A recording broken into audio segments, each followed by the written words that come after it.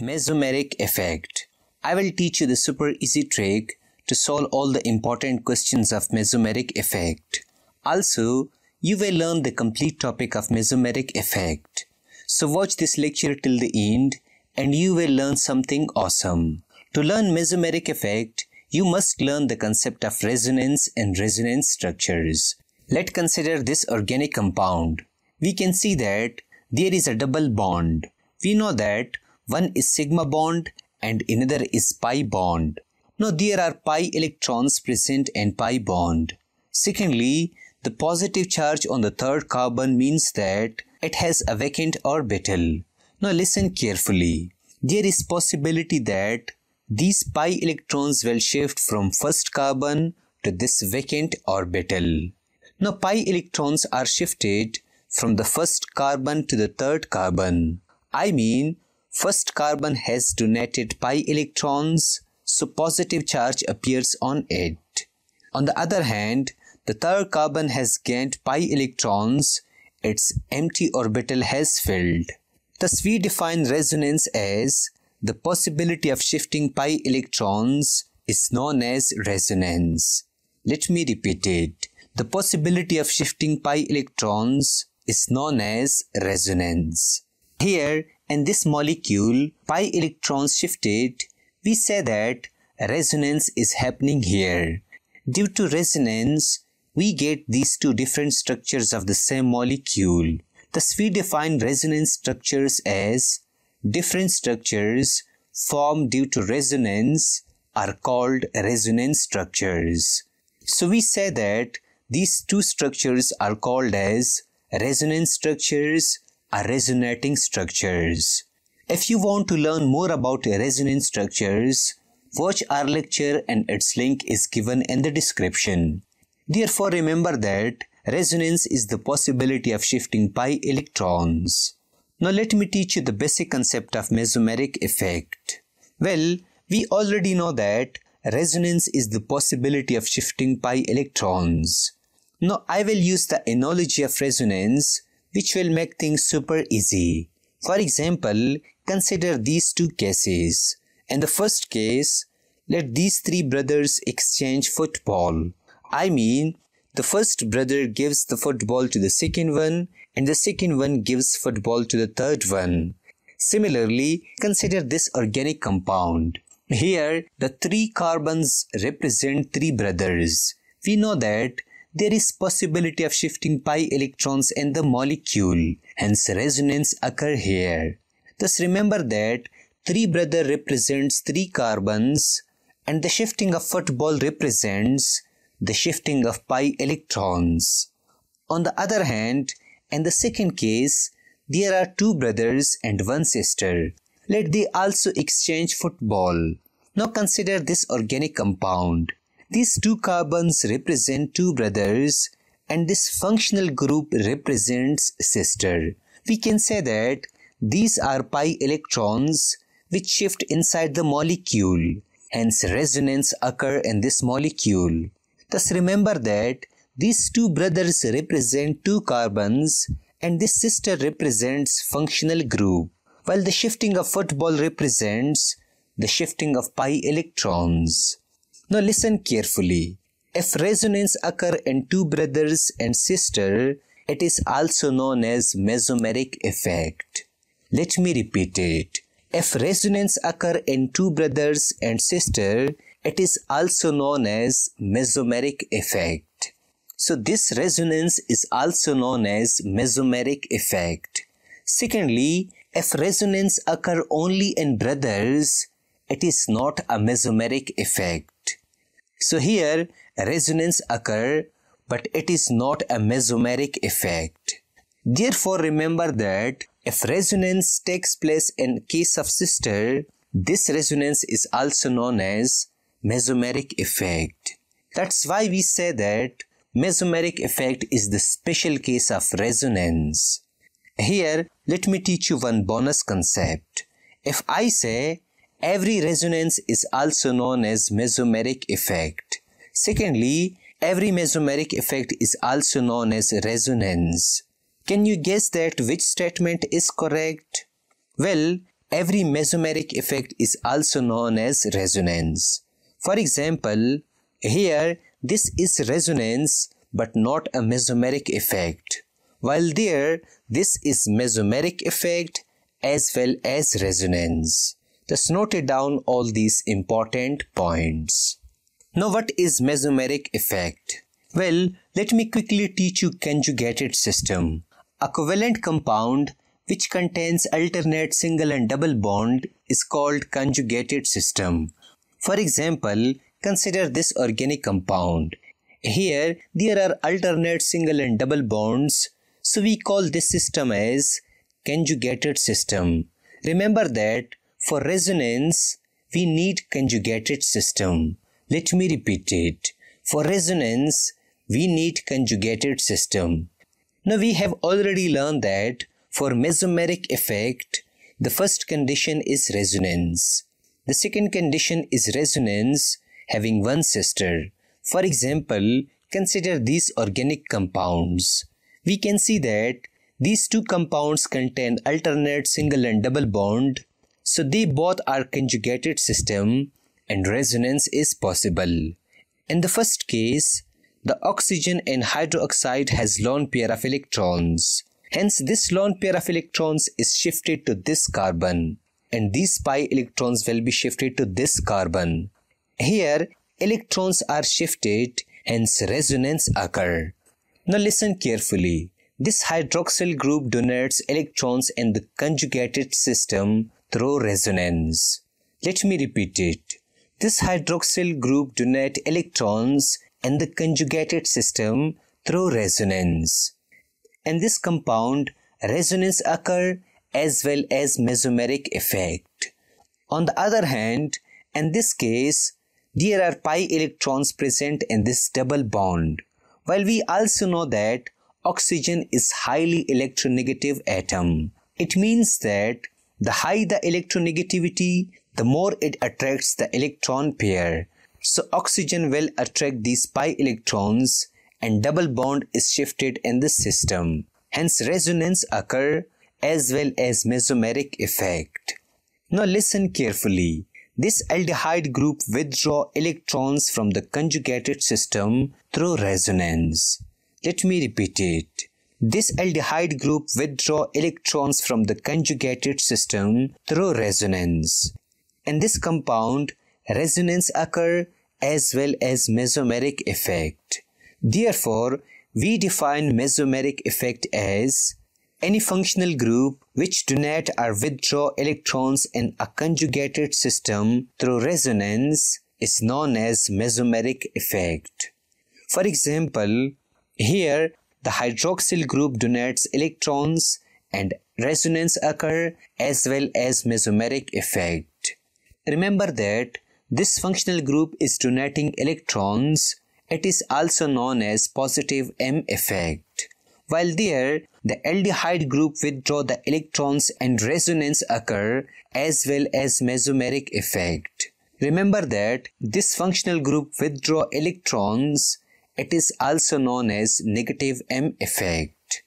Thus note it down that mesomeric effect is when a functional group withdraw or donate electrons through resonance. Now let me teach you mesomeric effect versus inductive effect.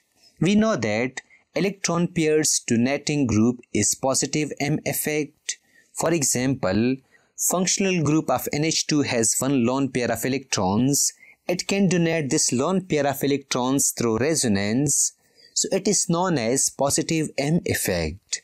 Secondly, electron pairs withdrawing group is negative M effect. For example, aldehyde group like CHO withdraw electrons from conjugated system through resonance, so it is known as negative M effect. Now what about inductive effect? Well, consider this organic compound. We know that fluorine is a highly electronegative atom. It will attract shear pair of electrons towards itself. As a result of this, electronic cloud tilt more towards fluorine. Hence, partially negative charge appears on fluorine and partially positive charge appears on this group. This shifting of electronic cloud towards fluorine due to electronegativity is known as inductive effect.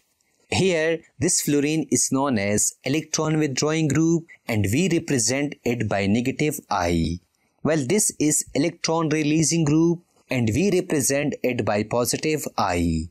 Thus remember that inductive effect is the shifting of electronic cloud towards more electronegative atom or group. If you want to learn more about inductive effect, watch our lecture and its link is given in the description. Now consider this organic compound. How can you determine mesomeric effect and inductive effect in this organic compound? Well, we know that there is possibility that this lone pair of this functional group can be donated and this conjugated system through resonance. This functional group donates pair of electrons. We call it positive M effect. Hence, this is mesomeric effect in this organic compound. On the other hand, we know that nitrogen is highly electronegative atom. It means that nitrogen attracts the shear pair of electrons. Now listen carefully.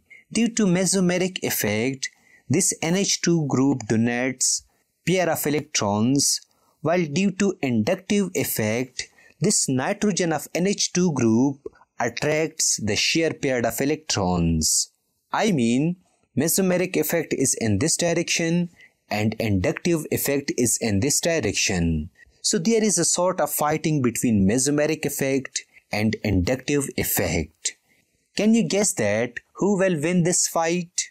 Well, mesomeric effect dominates the inductive effect and win this fight. Thus note it down that positive M effect is greater than inductive effect negative I. Also remember that there is one exceptional case in which negative I inductive effect is greater than positive M or mesomeric effect. It is halogen. For example, consider this organic compound. Here, this halogen or fluorine has lone pair of electrons. It can donate this lone pair of electrons in this conjugated system through resonance. Hence, it is positive M effect. On the other hand, fluorine is very very highly electronegative atom. It very strongly attracts the shear pair of electrons. Thus, in this case, inductive effect negative I is more than positive M or mesomeric effect. Therefore, note down all these important points. Now let me teach you the super easy trick to identify positive M, negative M, positive I and negative I effect in any compound. Well, positive M effect shows those organic compounds which have lone pair of electrons while negative M effect shows those organic compounds which have highly electronegative atoms like nitrogen, oxygen, fluorine, chlorine, etc. On the other hand, positive I effect shows those organic compounds which have alkyl groups, while negative I effect shows those organic compounds which have functional groups. For example, consider these organic compounds. In the first case, this OH group has lone pair of electrons. It will donate this lone pair of electrons through resonance. Also we know that if lone pair of electrons is present in a group, it shows positive M effect. Secondly, oxygen is an electronegative atom. It attracts shear pair of electrons. Also we know that if there is a functional group like OH, it shows negative I effect. Now mesomeric effect donates lone pair of electrons in this direction and inductive effect pulls shared pair of electrons in opposite direction. We already know that mesomeric effect dominates the inductive effect. Here, positive M is greater than negative I. Thus, using this trick, we will answer all these questions. In the second case, there is no lone pair of electrons it shows negative M effect. On the other hand, CN is a functional group, it shows negative I effect. Hence there is negative M effect and a negative I effect in this organic compound. In the third case, it is just a benzene ring. There are six carbon atoms present in it, hence it doesn't show any mesomeric effect. In the fourth case, there is a lone pair of electrons on NH2. Here, it shows positive M effect. On the other hand, NH2 is a functional group. It shows negative I effect. We know that positive M effect is always greater than negative I effect. In the fifth case, there are lone pair of electrons present on fluorine. Hence, it shows positive M effect. On the other hand, fluorine is a functional group attached to a benzene ring. It shows negative I effect. Can you recall that which effect is more in this organic compound?